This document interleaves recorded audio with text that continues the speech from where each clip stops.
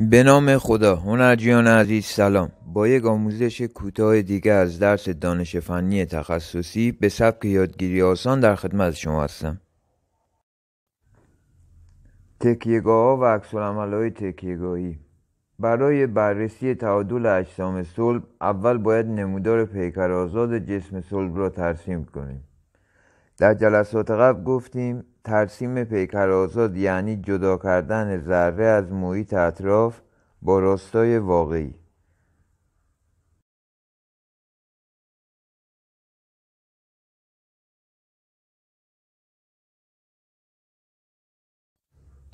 اما در اجسام صلب چون اجسام بر روی تکیهگاه قرار دارند که با توجه به نوعشان مانع از حرکت یا چرخش جسم مورد نظر می شوند بنابراین لازم است با انواع تکیهگاه ها و عکس های آنها آشنا شوید.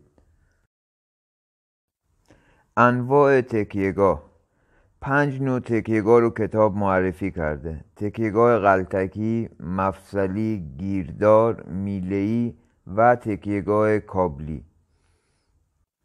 هنرجی های محترم لطفا ویژگی های هر تکیهگاه رو به خوبی به خاطر بسپرین که در حل مسائل با مشکل مواجه نشید.